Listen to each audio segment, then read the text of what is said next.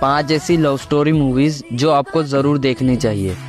Number five Shri Karam number four no parking number three राजा छोरा। Number to थाली पोगा थे number one नतपुना इन्नानू।